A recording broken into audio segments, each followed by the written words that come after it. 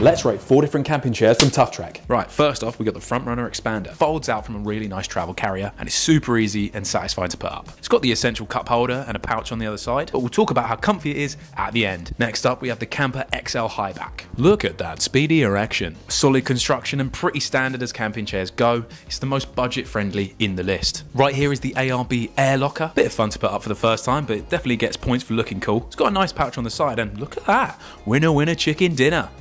The cup holder, you ask? Have no fear, it fits right here.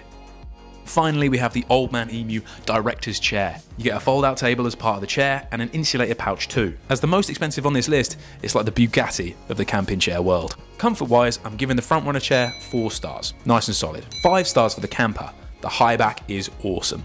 Four and a half stars for the ARB, those solid armrests are an absolute winner, and four stars for the Emu, pretty darn good. Thanks for watching, and follow Slaughterhouse Customs for more.